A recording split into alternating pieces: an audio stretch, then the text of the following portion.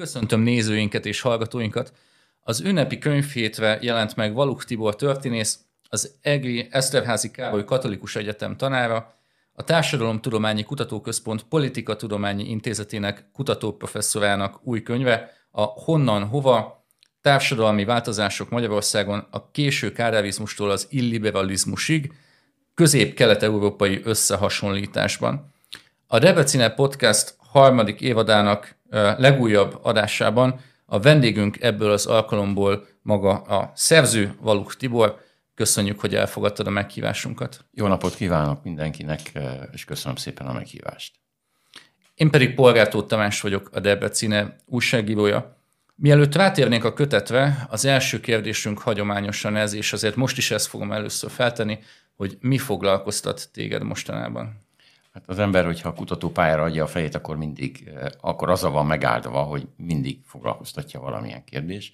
Amikor bezárul egy, lezárul egy feladat, akkor mindig van egy másik. Most éppen egy angol nyelvű monográfiának a, a kiadó, kiadói előkészítésével foglalatoskodom, de hogyha tematikusan kérdezed, akkor... Eh, ez, ez miről fog szólni? Ez, ez, a, ez, ez gyakorlatilag ennek a könyvnek egy angol nyelvű verziója, lesz majd az egyik legrangosabb nyugati angol száz tudományos kiadónál, a Taylor and Francis csoporthoz tartozó Routledge kiadónál, a Contemporary Hungarian Society címet viseli majd a, a könyv. De a, és ezzel le is zárulnak most ezek az, az ilyen monografikus, monográfiai, monográfiai írás törekvéseim, vagy monografikus munkáim, Viszont van egy nagyon izgalmas munka, ami már hosszabb ideje, vagy egy kérdéskör, ami foglalkoztat hosszabb ideje, az pedig a, azt valahogy úgy fogalmaznám meg, hogy a személyes történelemnek, a megélt történelemnek, a történelmi tapasztalatnak, a kisember nézőpontjának, milyen kisember nézőpontjából vizsgálva a nagy történeti átalakulásokat, vajon mit lehet jobban megérteni a történelem folyamatából és változásaiból. Tehát én tulajdonképpen arra törekszem, hogy úgynevezett radar alatti emberek, akik nem voltak kiválóak, akik nem voltak kiemelkedőek, egyszerűen csak megszülettek, fölnevelkedtek, tanultak, dolgoztak, szerettek, éltek, meghaltak, kis tisztviselő volt, postai altiszt volt, gyári munkás volt, és az élet történetének a mozaikjait összeillesztve egy analitikus elemzési keretben elhelyezve, megpróbálom értelmezni, hogy ami történt vele, az mit mutat meg abból, amit úgynevezett big history-nak, vagy nagy történelmnek, vagy köztörténetnek mutatunk, és hogyan hat az egyes ember sorsára, és vajon a nagy történeti mozgásoknak ez a mikro lenyomata, az segít megérteni a történeti változásoknak a, a természetét. Tulajdonképpen azt hiszem, hogy ez egy izgalmas kérdés, és ezt én egy ilyen öröm katona projektként fogom föl, eh, amikor eh, nagyon sok apró munkával összerakni egy-egy ilyen történetet, és majd ebből készül egy könyv, talán valamikor jövőre, vagy az azt követő évben, 8-10 eh, különböző társadalmi helyzetű ember a 18. század végétől a 20. század végéig az ő élettörténetük van, akinek generációs története, mert az is egy szempont. Tehát van egy olyan történet, ami, ami a 18. század végétől a 20. század közepéig egy 8 generációs családtörténetet vizsgál, hogy hogyan változott a társadalmi státuszuk, és a másik része az pedig egy 6 generációs munkás családtörténet, az is egy generációtörténet, de van benne egy teljesen átlagos késő dualizmus korabeli hortikorszak első felében első felében aktív és tevékenykedő kis tisztviselőnek a története. Szóval, hogy hogy a társadalom alulnézetből mit mutat meg magáról a társadalomról, és az egyes emberek élettörténete, élettörténeti tapasztalata segít jobban megérteni a történelmet. Azt gondolom, hogy ez egy izgalmas kérdés, és megéri az időt, energiát, mert hiszen ezek olyan munkák, mint egy tízezer darabos puzzle, amikor össze kell gyűjteni lehetőség szerint minél több darabot a puzzle is meg kell próbálni a helyére rakni. Érdekes, izgalmas és időigényes. Hát akkor jó munkát és jó, Köszönöm. jó kirakózást, valóban izgalmasan hangzik. És akkor térjünk rá a, a jelenlegi kötetre, amiről alapvetően szólni fog ez a beszélgetés. Az első kérdés, ami megfogalmazódik, szerintem nem csak bennem, hanem nagyon sok olvasóban, hogy miért ír a jelenről egy, egy történész, és, és milyen kihívásokat okoz ez egy, egy történész számára. A történész természeténél fogva kíváncsi ember. A, a, a múltnak sokféle értelmezése van. Tulajdonképpen minden múlt, ami már tegnap történik velünk, vagy tegnap megtörtént velünk, ilyen értelemben azt gondolom, hogy van létjogosultsága, hogyha egy történeti elemzés az egészen napjainkig eljön. Biztos szokták azt mondani, hogy kell egy távolság is, hogy megértsünk folyamatokat. Igen, csak azt gondolom, hogy a, a, a köztörténetben igen, biztosan van sok minden olyasmi, ami nem napra készen elérhető információs forrás, diplomácia történetben, titkos iratok, szerződések, stb. stb. Azok ismerete nélkül nyilván nem nagyon lehet folyamatokat értelmezni és felvázolni. Viszont a társadalmi változások esetében maga, miután én elsősorban társ, társadalomtörténész vagyok, illetve a társadalmi változások történeti értelmezésével és elemzésével foglalkozom, ez egy interdisziplináris műfaj, szociológia, történelem, néprajz, antropológia, statisztika és sok minden más tartozik a használt megközelítési módok és elemzési, elemzési módszerek közé. Tehát ebből a szempontból viszont van létjogosultsága. És én szeret, a történész, tehát a múltat mindig a jelenből magyarázza meg egy történész, és a jelen összefügg, jelennek a hatásai azok hatnak rá. És itt meg van egy olyan hosszú történeti folyamat, hiába csak 40 évről szól ez a könyv, vannak olyan kontinuitások a magyar társadalmi magatartásban, közgondolkodásban, viselkedésben, amelyek nem csak most, 5 éve, 10 éve, 20 éve, 30, hanem 40 vagy 50 éve velünk voltak, és velünk vannak. Tehát ha ezt meg lehet, egy történeti folyamatban lehet rendezni ezeket a átalakulásokat vagy változatlanságokat, és lehet egy értelmezési keretet adni, egy lehetséges olvasatot ennek a, a ennek az egész társadalmi változásnak, amiben persze nagyon fontos átalakulások történtek, ugye itt a konkrét esetben a rendszerváltásnak a, a transformációs válság, a, a deindustrializáció, a posztindustrializáció, az újraiparosodásnak a folyamata, a globalizáció megjelenése, a multinacionális tőke megérkezése Magyarországra és Közép-Európába. Tehát, hogy itt itt sokféle tényező van, és azt gondolom, hogy a jelenkor történet egyébként is egy legitim történetírói területté vált, és történet tudományi szemléletmóddá és témaköré vált az elmúlt évtizedekben. A jelenkori történet, meg pontosan az előbb általam elmondottak okán azt gondolom, hogy nem lehet megkérdőjelezni, hogy ennek van létjogosultsága.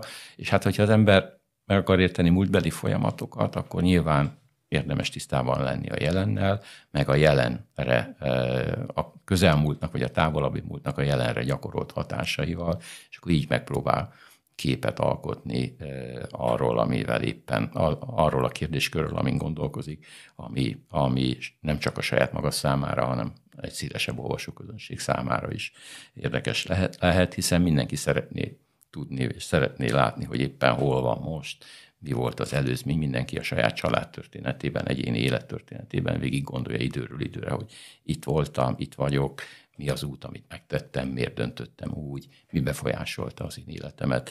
Én döntöttem-e az életemről, voltam-e elég autonóm vagy szabad?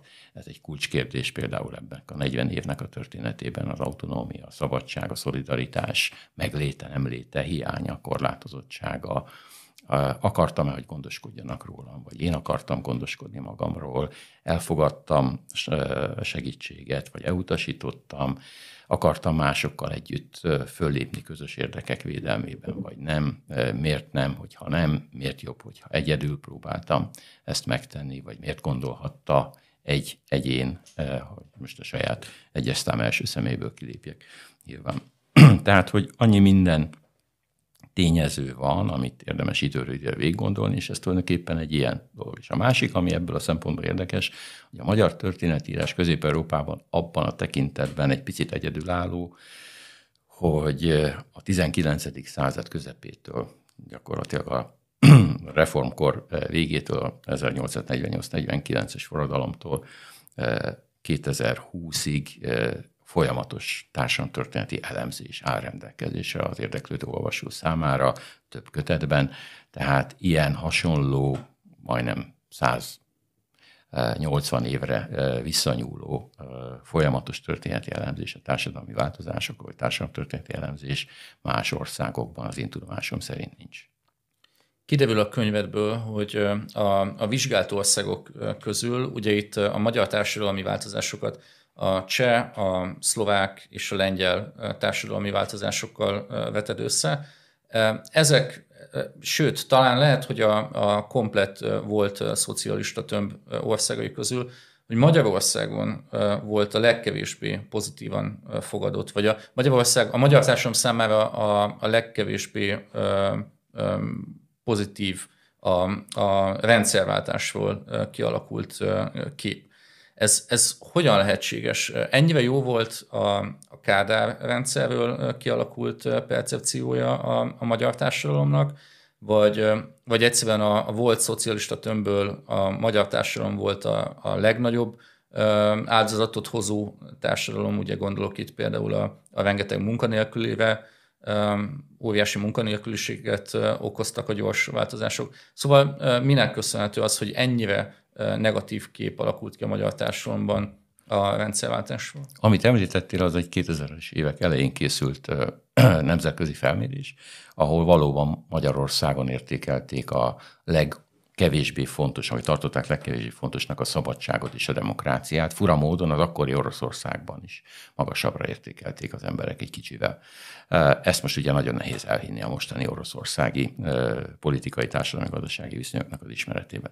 Hogy a lehetséges okai azok, azok valószínűleg többféle, tehát többféleképpen értelmezhetők az okok. Egyrészt Magyarországon egy kicsit jobb volt a társadalmi helyzet, a gazdasági válság az itt volt, az eladósodás itt volt a 80-as években a Kádár korszak válságában, válságának az időszakában, de a magyar társadalom differenciáltabb volt, már elmozdult a piac felé, már voltak vállalkozások, kis vállalkozások, már fölnőttek a 80-as évek végére komoly nagyvállalkozók, akik aztán a 90-es években még tovább futották a maguk életüket, pályájukat, egyfajta self-made típusú karriert alkotva Bolyár Gábortól a Széles Gáboron át a Dicső Gáborig, aki aztán bele is bukott ebbe a 90-es évekbe. Évek közepén lehetne említeni neveket és példákat. Tehát, hogy sokszínűbb volt, árnyaltabb volt, nyitottabb volt, jobban benne volt a piac felé való nyitottság, ami nagyon fura most 30 évvel később, vagy három és fél évtizedek is, amikor a piacnak meg a versenynek az elutasítottsága az elég magas a magyar közgondolkodásban, tehát nem szeret, a magyar embereknek egy jó része nem szeret szabályozott verseny körülményei között versenyezni a másikkal, hanem szeret inkább a szabályokat továbbra is megkerülni. Szóval, hogy volt egy jobb helyzet, lehetett menni nyugatra, bevásárló turizmus, fekete jövedelmek, államilag ellenőrizetlen jövedelemszerzési formáknak a tömege. Ilyen értelemben igen. A másik, hogy volt egy várakozás, egy társadalmi várakozás, hogy hip-hop lezajlik a politikai átmenet, itten gyorsan megváltoztatják a gazdasági viszonyokat, ez nem kerül olyan nagyon sokba, és akkor már ott vagyunk, ahol az osztrákok élnek. Hát ez nem így volt. Itt annyi feszültség és annyi megoldandó probléma halmozódott fel a késő szocializmus, államszocializmus időszakában, aminek a társadalmi árát akkor is meg kellett volna fizetni, és meg kellett fizetni, ha, ha nem így, nem ez a, a kimenet, amit már ismerünk, hogy egy piacgazdasági átalakulás van, már 80-as éveknek az utolsó harmadában megvoltak az első tömeges elbocsátások, még nem volt gazdasági rendszerváltás, még a politikai átmenet elején voltunk, de már az államszocialista korszak végén már a munkanélküli segélyt bevezették. Tehát, hogy ez benne volt, hogy reorganizálni kellett a magyar gazdaságot, különösen azért, mert egy ipar túl súlyos volt, ez hasonló volt, mint a lengyeleknél, vagy Csehszlovákiában, akkor ugye még egy ország volt vagy más államszocialista ország, vagy más keleti blokkba tartozó ország esetében, de hát itt, itt összecsúsztak átalakulási folyamatok, és valószínűleg emiatt lett egy csalódottság. Túl sok lett a vesztes, és túl kevés lett a, a győztes, vagy a nyertes pozícióba kerül. Nehezebben lehetett nyertes pozícióba kerülni a, a 90-es évek első fele után, ahhoz nagyon jól informáltnak, nagyon gyorsnak kellett lenni, naprakésznek kellett lenni, ott kellett lenni, információ többlet birtokában kellett lenni, föl kellett tudni ismerni a helyzetet hogy hogyan lehet részt venni a privatizációban, a kárpótlásban, a földigénylésben, a TS részjegyek megszerzésében. Tehát ez, ez egy nagyon összetett folyamat volt, hogy mit is. A kialakuló értékpapírpiacon óriásiakat lehetett kaszálni. Ehhez, ehhez nagyon szorosan kapcsolódik, hogy a, a rendszerváltást végrehajtó politikai és, és gazdasági elit mennyire volt képben azzal a globális kontextussal, amiben ez az egész eh, folyamat végbe ment Magyarországon. Tehát eh, ne, nem szoktak belegondolni általában azok, akik a rendszerváltásról laikusként gondolkodnak, hogy, hogy nem egy légüres térben zajlottak ezek a folyamatok. Ez, ez egészen biztos, hogy nem légüres térben zajlott. Most vannak olyan társadalomtudományi, szociológiai, közgazdasági elemzések, amelyek tulajdonképpen azt mondják, hogy a 70-es évektől a keleti tömb országai, bár azért még messze voltak attól, hogy az akkori korai globalizációs folyamatoknak a részei legyenek, de jelen voltak ebben.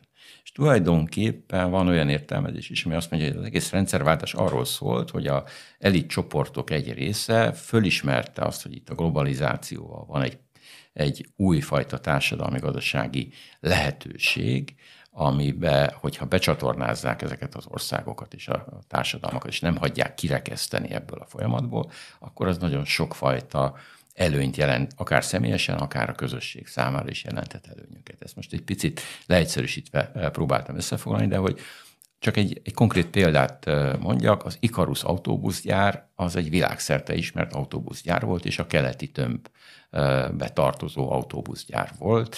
150 vagy 170 ezer autóbuszt adtak el külföldre. A 70-es évtized végén, 70-es évek közepétől a 80-as évek közepéig, ha jól emlékszem a számra, de egy ilyen komoly nagyságrend. Az egy más kérdés, hogy ezek nem a legfejlettebb országokban futottak ezek a, a buszok, tehát nem az Egyesült Államokban, hanem inkább közép-keleten, a Szovjetunióban itt-ott, meg a közép-európai országokban, de hogy mégis ez egy globális piac, és egy globális piacon egy, egy magyar, nagy, akkori magyar nagyvállalat jelen volt. És ez globális. Valószínűleg azért is ment tönkre, mert hogy nem tudott utána a piaci változásokhoz olyan gyorsan alkalmazkodni, ahogy az kellett volna, akár a formatervezéstől, akár a, ter- a gyártás szervezésig, a termelés rendjének az átalakításáig, ezért eh, vesztette el ezt a pozícióját. De hát ez egy komoly gazdasági pozíció volt, és lehet más vállalatokat is említeni, nem csak magyar vállalatokat. Tehát, hogy igen, volt egy ilyen szándék, az, hogy a korabeli elitnek elit eh, csoportoknak minden része tisztában lett volna ezzel. Azt nagyon nehéz megmondani. Én azt gondolom, hogy azt föltételem, hogy a politikusok inkább kevésbé, a gazdasági vezetők, akik egyébként a késő kádárkorszakban már nem elsősorban káderek voltak, hanem úgynevezett kádermenedzserek, akik szakértelmiségiként irányítottak egy-egy vállalatot, és már-már a vállalati önállóság jegyében úgy kezelték, mintha a sajátjuk lett volna, és a politikai tőke az csak a szükséges hátteret biztosított a számukra, szóval ők azt gondolom, hogy ebből többet láttak. A, egy szolnoki mezőgépvállalatnak a menedzsmentje az összes fontos nyugati mezőgazdasági gépgyártóval kapcsolatban volt, volt akinek speciális magyarországi forgalmazójává vált a 80-as években, az német, a Klesz cégnek, meg, sok, meg francia cégeknek, tehát hogy ezek működtek, ezek a kapcsolatok gazdasági szinten. A politikai rendszernek a korlátozottsága volt érdekes, hogy nem engedte ideológiai és politikai szempontok miatt, vagy próbálta lassítani a piaci viszonyoknak és ennek globalizáció megjelenésének, idézőjeles globalizáció megjelenésének a térnyerését. Idézni fogok a, a könyvedből. A késő Kádár korszak társadalmi viszonyaival az erőteljes, ám a tisztességes versenyt, a kooperációt alapvetően elutasító individualizálódás volt a jellemző, ami meghatározó módon befolyásolta a társadalmi átmenetet. Ez a társadalmi magatartás túlélte a rendszerváltást, és napjainkban is jelen van. Ez egy nagyon érdekes meglátás, és mindenképpen meg kell kérdeznem, hogy szerinted miért alakult így, és mi biztosította ezt a máig tartó kontinuitást? Miután történész vagyok, megpróbálok történeti magyarázatot adni erre a dologra, vagy erre a kérdésre is. Azt látni kell, hogy Magyarországon azért volt egy polgári kultúra a második világháború végéig. olyan, amilyen, de azért abban benne volt a tisztes vállalkozás eleme, a tisztes kispolgár létformája, akinek ugyancsak egy műhelye volt, vagy maximum egy segédje volt, de ő önálló volt, autonóm volt, hozott döntéseket. Voltak nagyvállalatok közé, voltak szabályok. Egy piac és egy verseny határozta meg a gazdaságot. Azt, hogy a politikai rendszer egy autoritár rendszer volt a hortikorszakban, az más viszony. Ez a második világháború időszakában megbicsaklik mert hogy Magyarországon ugye a, közép, kis közép és nagy vállalkozók jelentős része a magyar zsidóságból került ki, ők el, nagy részük elpusztult a koncentrációs táborokban, tehát itt már van egy kulturális tőkevesztés és egy tudásvesztés. Aztán jön az államosításnak a folyamata, amikor meg a meglevő magán tőkét, magán kezdeményezéseket, az innovációra való hajlandóságot is tulajdonképpen államosították a vállalatoknak a, az állami tulajdonba vételével, és akkor hirtelen, ami, ahol megvolt az érdekeltség, nagyon érdekes például a Richter Gedeon gyár története, Eh, vagy eh, a Dreher sörgyár története, vagy bármit, ha megnézzük, vagy a, nagy a Goldberger család története, mint nagyvállalkozók, ezek eltűnnek. Maradnak a vállalatok, mint szervezetek, de már nem az a tulajdonosi mentalitás van, nem az a gondolkodásmód van benne. És akkor szabályozatlan lesz. Ami mindenkié, állami tulajdon, az valahol senkié. Az enyém is, tied is, és akkor a sok gazda között nyilván azért elvészett a, a, a, a jószág a maga valójában, és a szabályok meg nagyon gumiszabályokká váltak. Tehát ha az enyém, akkor elvihetem belőle a, a nyersanyagot, és otthon csinálhatok belőle, mit tudom én, disztárgyat, vagy a munkaidőben csinál, eladhatom a saját magam hasznára.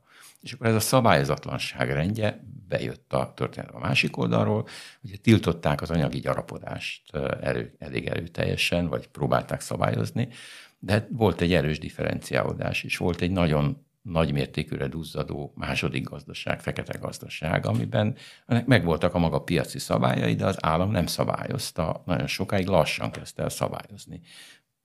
Személy fuvarozás tilos tevékenység volt 82-ig, tele volt a 70-es évek második felében minden taxis rossz magántaxikkal, akiket taxis hiénáknak hívtak, akik személyautóval beálltak, és elvitték az utasokat, mert volt rá kereslet. De ők nem fizettek adót, ők abban voltak érdekeltek, nem, nem ruháztak be az autón kívül semmit, meg a munkaidejükön kívül. Minél rövidebb idő, minél nagyobb haszon legyen. Tehát ebből van egy ilyen szabályozatlanság. Aki lemegy a feketébe, az megsérti az akkori törvényeket. Az, hogy a törvények nem voltak jók, az világos. Meg kellett sérteni, mert úgy lehetett boldogulni. De ebből lett egy normarendszer. És tulajdonképpen ez a norma rendszer pörgött tovább. A 90-es évek elején egy adóhivatalnál az adóbevallásokat leadni akaró sorbálók között, az, hogy valaki fölkiáltott egy, mit tudom én, a debreceni apeknek az előcsarnokában, hogy én ezeknek adót fizessek. Hát az hogy képzelik? De ott állt az ember a nullás adóbevallásával, a papír, papírral a kezében, és beadta. Miközben nem. Az olajszőkítés és sok minden más lehetne mondani az egészen eredeti tőkefelhalmozásnak az eszközét, és ez ugyanígy megvan, csak belép egy más tényező. 2014 után a nemzeti tőkésosztály kialakításának hangzatos jelszavával egy kliens vállalkozói kör kezdett el megszerveződni, és hát ők az állami újraelosztás révén szereztek javakat, és nem tartanak be szabályokat. Tehát közbeszerzés nyerni, nem indulnak el vállalkozások bizonyos közbeszerzéseken hosszú-hosszú évek óta Magyarországon, mert fölösleges az energiát belefetszölni, mert úgy is lehet tudni, ki fogja megnyerni. Foglalkozol a kötetben egy ma is nagyon aktuális és a politikai közbeszédben meglehetősen tematizált kérdéssel, a be- és kivándorlás kérdésével milyen főbb tendenciákat tudtál megállapítani a korszakra vonatkozóan? 2008-ban nyitották meg az Európai Uniós munkaerőpiacot Magyarország, a magyarországi munkavállalók számára is, és 2008-tól lassan, majd 2010 után gyorsuló ütemben erősödött a kivándorlás Magyarországról, és hát nincsenek egészen pontos számaink, de hát ugye az már egy ilyen közhelyszerű megállapítás, hogy London a második legnagyobb magyar város, a maga 200 ezer környéki magyar nemzetiségű lakosával, és azt is látjuk, hogy az Egyesült Királyság a Brexit ellenére is Németország és Ausztria a három célország a magyar kivándorlók többsége számára, és bizony most már a legóvatosabb becsések is azt mondják, hogy legalább félmillió ember aktívkorú, főként aktívkorú ember hagyta Magyarországot az elmúlt egy évtized során. Időről ide van egy pici visszavándorlás, visszáramlás, van, aki kimegy, nem találja meg a szerencsét, de akik Magyarországról elmentek, és már öt éve kinnélnek legalább, azoknak a döntő többsége nem ér vissza. A demográfiában látunk olyan trendeket, hogy a egy évben megszületett újszülötteknek körülbelül az egyharmada, 40 százaléka az ugyan Magyarországon is anyakönyveztett, anya, Magyarországon is anyakönyvezik őket, de hogy külföldön élő magyar családokban házaspárok élettársi házasságban és élettársi kapcsolatban születtek, vagy születnek meg. Tehát azt gondolom, hogy ez egy nagyon fontos dolog, mert hogy aki elment Magyarországról, azoknak a nagy része iskolázott volt, átlagnál magasabb iskolázottságú volt, szakképzett, magasabb szakképzettségű volt, vagy szak, szaktapasztalatokkal, szakmai tapasztalatokkal rendelkezett, tehát olyan kulturális tőkevesztés szenvedett el Magyarország, amit nagyon nehéz egy ilyen kis létszámú társadalomnak, mint a magyar, ugye most már jóval kevesebben vagyunk, mint 10 millió, közeledünk a 9,5 millióhoz, ez azért egy 5-6 százalék a népességnek. Az egy nagyon komoly vesztés. Na most a bevándorlás esetében ugye itt két szakasz van, a 90-es évek, a 80-as évek végén és a 90-es évek elején alapvetően a környező országokból is, főként magyar nemzetiségűek érkeztek ide, és ők ide akartak jönni. Az ő, ennek a bevándorló csoportnak a létszáma egy olyan 100 ezer fő környékére volt tehető ebben a 87 és 93-94 közötti háromnegyed évtizedben. Aztán a ez, ez régiós összehasonlításban hogy néz ki egyébként? Ez, ez soknak számít? Hát az ide, vagy... a bevándorlásra? Igen, a, igen. A bevándorlás nem olyan rettenesen soknak. Kivándorlásban sem vagyunk az élmezőnyben. A magyar társadalom lassabban mozdult a kivándorlás felé, akár a lengyelekkel hasonlítjuk össze, akár a romániai kivándorlás, azt most lehetett látni a romániai népszámlás, a legutóbb népszámlás adatainál, hogy mekkora milliós tömeg hagyta el Romániát a két népszámlás közötti időszakban. És a, ami érdekes, hogy a szomszédos országokból már Magyarország is inkább tranzitországként jönnek, és nem csak magyarok, egy ideig itt vannak, és aztán mennek tovább. Tehát Magyarország ilyen értelemben a, a, a szomszédos országban élő magyarság számára nem, nem maradt elsődleges bevándorlási célország. A másik oldala, hogy kinyílt Magyarország, azzal, hogy bekerült az Európai Unióba és a Schengeni övezetbe, és azt követően ezzel Magyarországra jönni úgy, hogy az EU-ba belépni, ez nagyon sokak számára vonzó volt, Afrikától kezdve közép-kelet, közel-kelet, akár a távol-keletről is.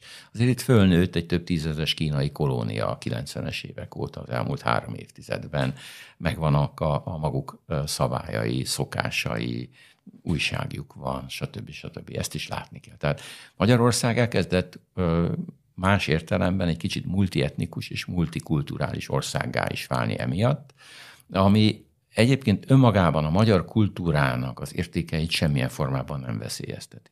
És akkor a 2010-es években ugye a, a Európában kialakult migrációs válság alakította át ezt az egész bevándorlás, kivándorlás és az ehhez való viszonyulás kérdését, mert hogy a hatalmon levő kormánypárt kiváló bűnbak és ellenségképzési lehetőséget talált a saját maga hatalmi szempontjaiból a, a bevándorlás és a, a migráció kérdésében. Miközben a migráció az egy teljesen normális és tartós jelenség Magyarországról a 19. század végén, 20. század elején sok százezer ember ment el még a történelmi Magyarországról, a monarchiából, az Amerikai Egyesült Államokba szerencsét próbálni, és volt, aki ott maradt, volt, aki nem, visszajött.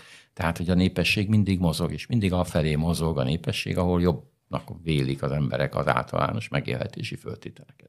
Ilyen értelemben. Ebben a, a 15-ös migrációs válságban nyilván voltak politikai indítatások, megterhelni az Európai Uniót, ott volt a háttérben a szíriai háború, az afganisztáni tisztázatlan helyzet, ott volt a koszovói albánoknak a történet. Tehát nagyon sok minden egy, egy pillanat, volt. pillanat várjunk meg. Mi az, hogy megterhelni az Európai Uniót? Tulajdonképpen olyan nagy tömegű bevándorlót útnak indítani, akik az ellátási képességeket a határig vagy azon túl is kifeszítik. Tehát amikor itt azért több százezer ember mozdult meg mondjuk egy év alatt, vagy akár milliós nagyságát, és elérte a, a vándorló tömeg, emlékezhetünk Debrecen utcáin is a menekült tábortól, a Sámsani úton két oldalt rendőrök kíséretében hajtották a, a menekülteket a vasútállomásra, vagy a menekült táborba, megfogták őket. Ez olyan volt, mint egy ilyen klasszikus deportálási jelenet. Tehát, hogy az ellátó rendszerek túlterhelésével, meg a politikai figyelem lekötésével, meg a politikai közvélekedés tematizálásával, a másságtól való félelemnek a, a fölélesztési vagy felerősítésével ez nagyon sokat segített a, a tízes évek közepén a különböző populista, etnonacionalista politikai eh, álláspontokat képviselő erőknek, hogy saját magukat erősebbnek láttassák, és meg tudják mutatni, hogy íme itt az ellenség, és íme itt vagyok én, és az én politikai csoportom és pártom, és mi megvédünk. És akkor ebből lett egy idegen ellenesség, egy idegen gyűlölet. Magyarországon olyan szinteket ért el, hogyha megjelent egy kis faluban két ázsiai származású ember, akkor hirtelen kihívták, volt, hogy kihívták a rendőrséget, hogy itt migránsok vannak, és jaj, veszélybe vagyunk, és akkor be kell zárni az ajtót, ablakot, mert bemásznak. Vagy. Szóval, hogy ilyen hisztéria keltés szintjéig ez el tudott menni, annak köszönhetően, hogy nálunk még erre egy népszavazás is rendeztek a migrációval kapcsolatban, az utasítás megerősítése és a, a politikai az ezt kitaláló politikai tábor megerősítése érdekében. Tehát, hogy ez egy nagyon, komplet, nagyon komplex folyamat, nem komplet, bocsánat, nagyon összetett folyamat, ami nagyon sokféle hatása volt, és akkor persze, hát itt a, át kellett gondolni az egész EU-nak a bevándorlás politikáját. Ebbe a különböző országok különböző álláspontokat vallottak. Kiket engedünk be, hogyan, hogyan lehet ellenőrizni. Rengeteg, rengeteg probléma van ezekkel, és nyilván az ellenőrizetlen bevándorlás senkinek nem érdeke, különösen akkor, amikor az iszlám fundamentalizmus azért jelen volt a tízes években, és azért jelen van ma is, merényletek és sok minden más történt. Tehát, hogy ezt így, így könnyen egy, egy populista politikai álláspontnak a szándékai szerint ezeket a tényezőket nagyon könnyen össze lehet rendezni, miközben rá is lehetett segíteni arra, hogy hát ez nagyon félelmetesnek lássék, és félelmetesebbnek, mint valójában. És akkor föl lehetne tenni a kérdést, hogy hát háború elől menekülő embereknek ki segít. Nagyon sok ember indult el. Persze, ebbe fekete biznisztől kezdve embercsempészetig sok minden volt, ez is a másikról, erről keveset lehet beszélni, vagy keveset szoktak beszélni, mert hogy elnyomja a körülötte levő zaj. Most már egy kicsit lecsengőben van, és már szigorúbb a, a közös Európai Uniós bevándorlási politika is tovább szigorodott, de ez ez a szigor inkább csak azt jelenti, hogy az ellenőrizetlenséget kell kiiktatni, és meg kell próbálni az embereket azokon a helyeken tartani, ahol, uh, ahol ők éltek és születtek, és igazából ők élni akarnak, és ne legyenek olyan, és meg kell előzni, hogy olyan helyzetek alakuljanak ki, ami tömegeket kényszerít arra, hogy elhagyják a szülőföldjüket. Mert egy másik helyen akkor ugyanazt a kapacitást vagy föl kellene tudni állítani, építeni, szociális ellátástól, iskoláztatáson át, egészségügyig, stb ami azért nem minden európai országnak adatik meg a lehetőség, hogy ezt könnyen meg tudja tenni, de és ha már unió van, akkor bizonyos kérdésekben szülessék viszonylag egyhangú döntés és közös fellépés. Ez azért nagyon nehéz nyilván egy ilyet megteremteni. A könyvedben foglalkozol az öngyilkosság, az alkoholizmus és a drog kérdéseivel. Mennyire magától értetődő, hogy egy, egy rendszerváltás utáni időszakot feldolgozó, időszak magyar társadalom történetét feldolgozó munkában foglalkozni kell ezekkel a, ezekkel a kérdésekkel? Mennyire voltak szerves részei ezek a, a magyar társadalom történetének ebben az időszakban? Miután társadalmi jelenségekről van szó, és ugye szociális viszonyok, deviáns jelenségekről is szó esik, ugye a magyar társadalomban azért a deviancia iránti fogékonyságnak van. Mit értünk deviancián? A, a hát deviancián az általános társadalmi szokásoktól, hagyományoktól való jelentős eltérést, a, a normákkal való szembefordulást, azoknak a látványos figyelmen kívül hagyását, az önveszélyes életmódot, és ebbe beletartozik akár a, a kábítószer, akár az öngyilkosság és minden más, a, az idegi kimerültség kérdése. Tehát azért a magyar társadalomban ez is egy komoly probléma volt, és valamennyire maradt is, hogy túlságosan nagyok a, túl, nagyok a terhelések, és ezek a, az egyes embereket jobban megviselik, és arra ösztönzik, hogy valahogy a feszültség feszültséget csillapítsák. Az alkoholizmus kérdése is ebbe a körbe tartozik. Bár ez nagyon érdekes, hogy az a államsztatista korszakban ugrott föl a csúcsára az alkoholfogyasztás, 11 liter nyit tiszta szeszben mérhető alkoholfogyasztás jutott egy, egy felnőtt magyar emberre a 80-as évek közepén, ez elég magas érték és aztán a rendszerváltás után ez egy kicsit visszább csökkent, és akkor egy alacsonyabb szinten marad, de megjelentek új dolgok. A rendszerváltás előtti időszakban Magyarországon nem volt kábítószer. szintetikus kábítószer, volt helyette technokon rapid szipuzás és altató tabletta és nyugtató tabletta és alkohol kombinációja, ami nagyjából has a párkán nevű nyugtató vagy ideggyógyszer volt, azt hiszem ilyesmi, amit nagyon sokan használtak, és ennek meg volt a fekete piaca. Ahogy kialakult a szervezetbűnözés, a prostitúcióból, a, ami a 60-as, 70-es években is létezett Magyarországon, a szobáztatásból, a valutázásból, ahogy megjelentek a kábít, különböző kábítószerek is a, a elérhetővé váltak Magyarországon, és úgy nyilván ennek is kialakult a maga elosztási rendszere, piaca. Mennyivel voltak ezek összefüggésben a diszkókultúrával? Ezt nagyon nehéz pontosan megítélni, mert a, a, az úgynevezett diszkódrogok az azért egy másik, kicsit másik kategória, mint a kemény drog, a marihuána, vagy a hasis, vagy a kokain. Tehát, hogy e, azt gondolom, hogy egy, egy ilyen bélyegnek az elnyalogatása, vagy e, bármilyen enyhe e, illuminált állapotot felerősítő szernek a fogyasztása az nem ugyanaz, mint a, a, a üzletszerűen megszervezett drogterjesztésben. Nem, nem, nem is ebből a szempontból kérdezem. Élnek ezzel kapcsolatban városi legendák, amiknek nem tudom, hogy mennyi a, a valóság alapja, hogy, hogy ezek a nagy vidéki diszkók például, mint ami, ami Sárándon is volt, ami, ami Polgáron is volt, és nagyon sok más településen, én most nem akarok egy-két konkrét települést kipécézni ebből a szempontból, hogy ezek nem csak szórakozó helyekként, hanem kábítószerelosztó központokként is működtek abban az időben. Ezt én sem megerősíteni, sem megcáfolni nem tudom. Egyrészt nem jártam ezekben a diszkókban, kettő, nincsenek hiteles rendőrségi információim, három, ez valószínűleg az al és a felvilág között egy olyan olyan pont, ami inkább az, az alvilághoz tartozik mindenféle felvilági legalizáló kapcsolatokkal, amik lehetővé tették a működtetést. Ezért ne felejtsük el, hogy Magyarországon a rendőrség is átalakult, és elbizonytalanodott sok tekintetben. Át kellett állni egy diktatórikus működési formáról egy jogilag ellenőrzött rendőrségi formára.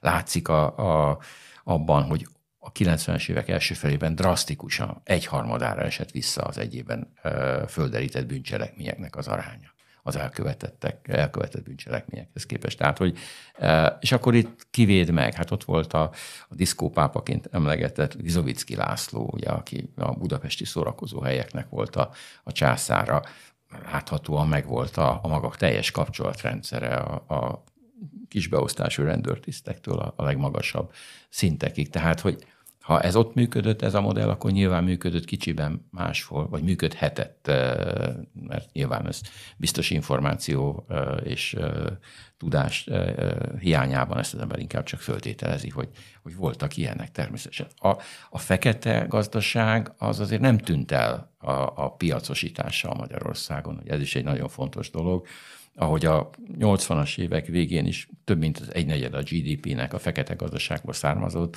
93 körül a egyik gazdaságkutató jelentése ott 28 ot mért már.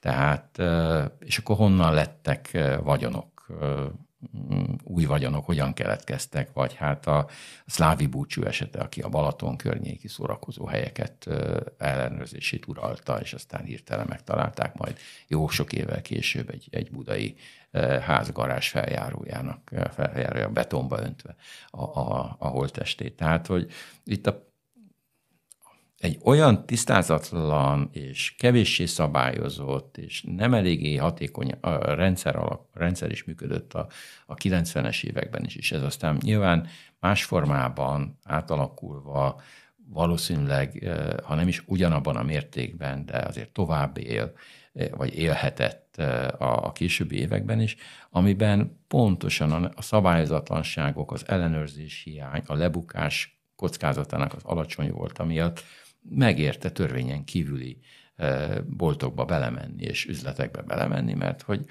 vagy megvédtek, vagy ö, egy rivális csoport áldozatává estem, ez benne volt a kockázata. Tehát azért a leszámolásos gyilkosságok a 90-es években, azt nem mondom, hogy minden nap előfordultak, de meglehetősen gyakoriak voltak. Ö, ott azért ö, különböző gazdasági érdekcsoportoknak az összeütközése, piacszerzés, befolyásolás, ellenőrzés kérdése, hát most zajlik még mindig a, a, a, a úszószövetség elnöke, ugye érintett, a Gyárfás Tamás, a, a, Vikó csoport. Igen, már, már nem az úszószövetség. Hát, vagy az, az volt sokáig, és sok minden, és naptévé, és médiaszerzés, és összeütközésben volt a, a, a Fenyő Jánossal, aki a Vikó csoportot privatizálta, vagy azon a néven privatizálta a korabeli bulvár sajtó, szórakoztató sajtó és elektronikus sajtónak egy jelentős részét. Nem tudjuk pontosan, nem látjuk a 90-es évek leszámolásos merényleteiből elkövetői közül alig-alig ítéltek el valakit. Az olajszőkítés parlamenti vizsgálóbizottság nézte, gyakorlatilag semmi olyat nem állapítottak meg, vagy nagyon-nagyon kismértékben találtak felelősöket. Tehát, hogy hogy ez, ez az átmenet idő, és Magyarországon ez még viszonylag egy, egy mederben tartott dolog volt, mondjuk Oroszország 90-es évekbeli viszonyaihoz eh, képest. Úgyhogy ez egy érdekes, eh, sajátos helyzet, hogy, hogy ilyen összehasonlítás lesz az ember, de hát eh, benne volt ezeknek az éveknek ez is a történetében. Az a, az a gond, hogy ezek a dolgok nem láthatók igazán jól történeti vizsgálatokkal sem, társadalomtudományi vizsgálatokkal sem, szociológiai elemzésekkel sem olyan pontosan, majd biztos lesznek olyan történész kutatók, akik megnézik a sajtót, bűníratokat 10-20-30 év múlva, és akkor megrajzolják ezeknek a csoportoknak, a, meg erőtereknek a történetét, meg a változását és átalakítását. Ma ezt nem lehet még ilyen így megtenni, viszont az ember látja a, a következményeket, látja a különböző kapcsolati tőkéknek a változását, ezt lehet ezekkel az eszközökkel is valamennyire nyomon követni, és föltételezéseket, megalapozott föltételezéseket azért meg lehet engedni ezekben a kérdésekben is, és ezek tényszerűen megtörtént, hogy több száz vagy nagyon nagy, nagyon nagy több százmillió vagy milliárdos nagyságrendben vontak ki adót a, a közpénzekből azzal, hogy olaj, olajat szőkítettek, hogy nem fizették be az áfát, hogy megforgatták a vállalkozások között, és akkor a végén eltűnt az a közpénz az adóból, nem lett adó, nem épült a közjavára semmi, lett belőle egy villa a Balaton felvidéken. Tudom, hogy annyira nem illik főleg egy, egy történész, de egy kicsit spekulációra foglak kérni. Arról is írsz, hogy a korabeli magyar társadalom pusztán a saját erejével támaszkodva képtelen lett volna a rendszerváltás gyors kikényszerítés, kikényszerítés, na még egyszer, Kikényszerít. kikényszerítésére, köszönöm szépen, nehéz szó. Ma mi a helyzet ezen a, ezen a téren, hogyan, hogyan látod? Egy, egy gyors, akár társadalmi, gazdasági, politikai változást mennyire tudna a jelenlegi magyar társadalom kikényszeríteni? Hát ismételtem, meg kell dicsérjem a kérdezőt, mert jó kérdései vannak.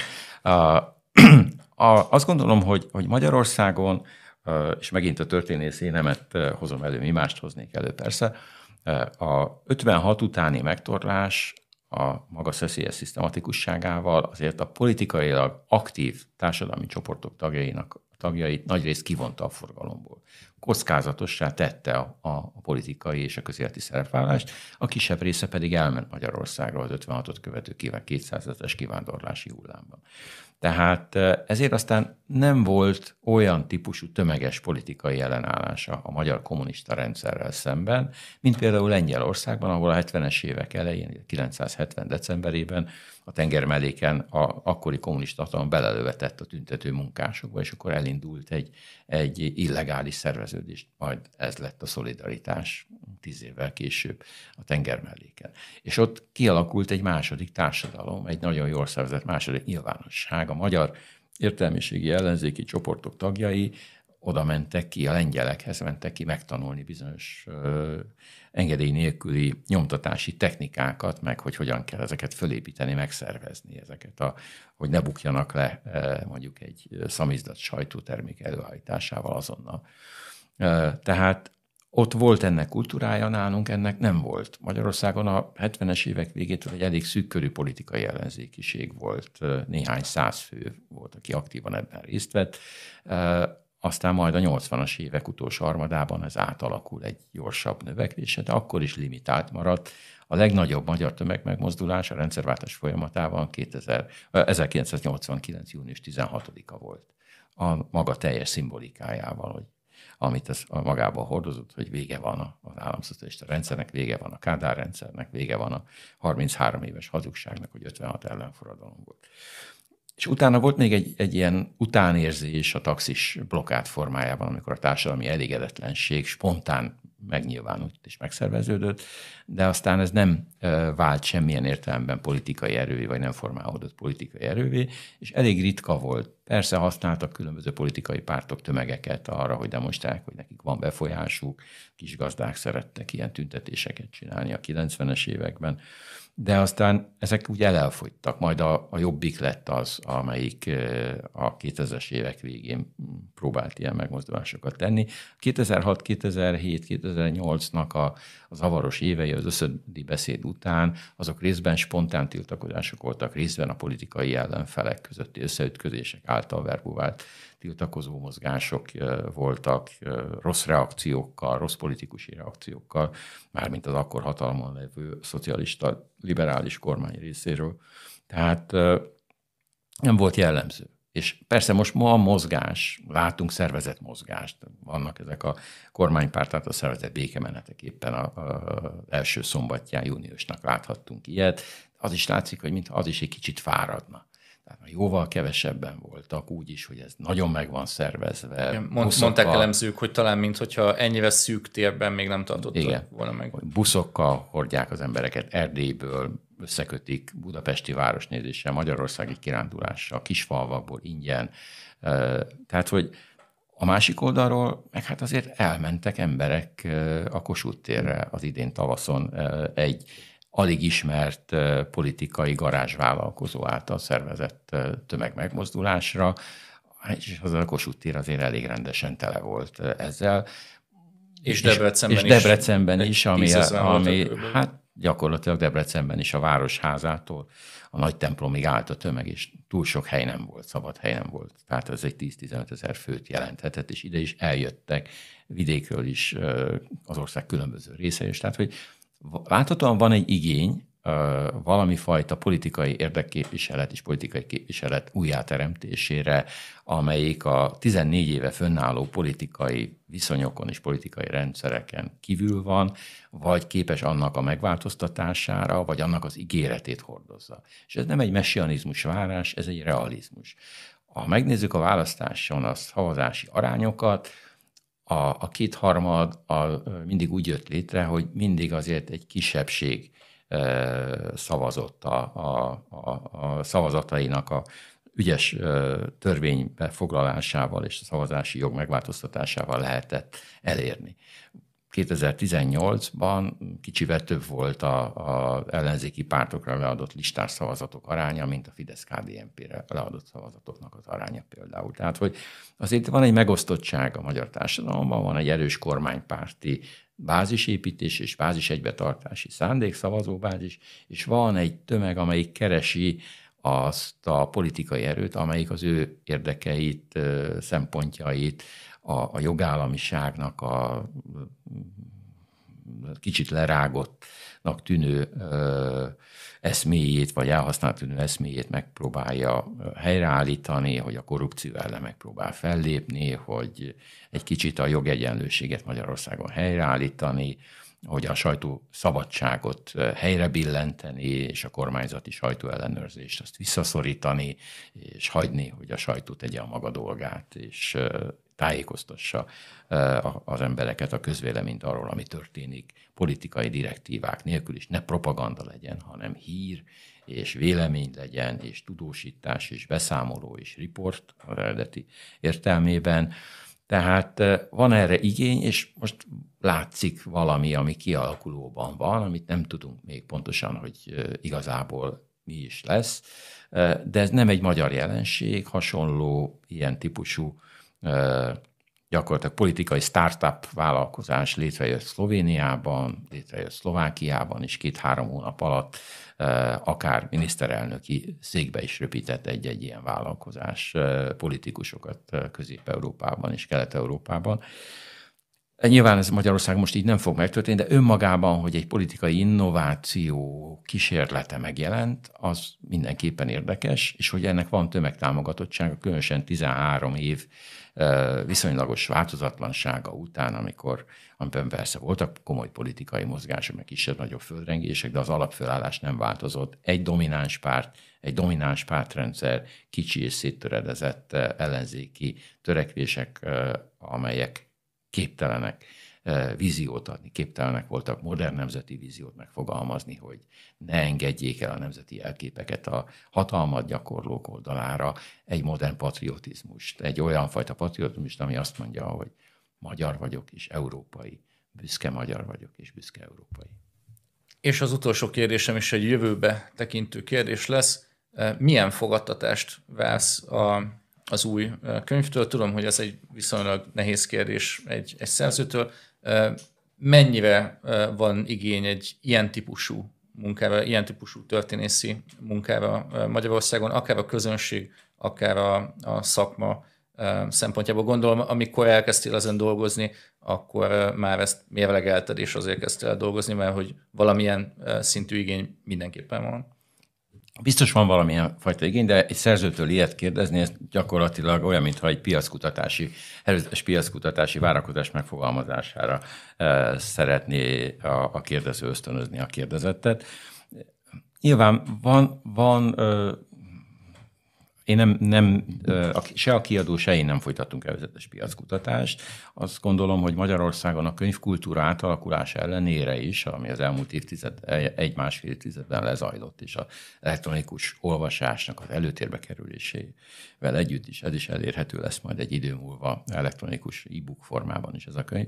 Azért van igény az elemző, értelmező, analitikus munkákra, történeti társadalomtudományi munkákra, az, hogy mi ez a pontos igény, azt, azt nagyon nehéz belőni. Persze ezt a felsőoktatásban is reményeim szerint majd lehet használni. Azt gondolom, hogy van Magyarországon egy olyan érdeklődő olvasói réteg, amelyik, ez egy, nem egy politikai könyv, és nem egy politikai nyilatkozat, azért ezt mindenképpen le kell szögezni. Ez egy értelmező, töprengő, analitikus munka, ami a a társadalmi változások természetét, sajátosságát különböző időszakokban egy időszakra kivetítve nem csak magyar, hanem közép-európai összehasonlításban megpróbálja megmutatni. Azt, hogy ezt hogy sikerült megtennem, azt már nyilván az olvasó fogja megítélni.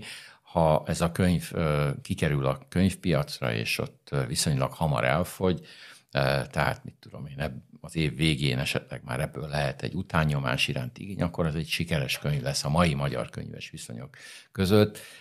Azt nem gondolom, hogy, hogy tízezes példányszámokban fog ez a könyv elkelni, mert ez egy illúzió, ezt várni a mai ö, olvasási szokások közepette, és hát én csak reménykedem benne, hogy, hogy sok olyan olvasó lesz, aki, aki talál benne olyan információt, amiért érdemes a könyvet kézbe vennie, esetleg megvennie és elolvasnia. És ha, ha ez a, az igény, vagy ez a várakozás beteljesül, akkor az én munkám az nyilván valóan nem volt hiába. Köszönöm szépen, hogy elfogadtad a felkérésünket, és köszönöm a beszélgetést. Valuk Tibor történésszel beszélgettünk, honnan, hova társadalmi változások Magyarországon a késő kádárizmustól az illiberalizmusig, közép-kelet-európai összehasonlításban című új könyvének megjelenése apropóján. Ezt a podcastot a Debrecines stábja készíti. Amennyiben szeretnének még több ilyen adást hallgatni, kérjük fizessenek elő online újságunkra a debrecine.hu címen. Köszönjük, hogy minket figyeltek és hallgattak a viszont hallásra, látásra. Szervusz! Szervusz, köszönöm szépen a meghívást!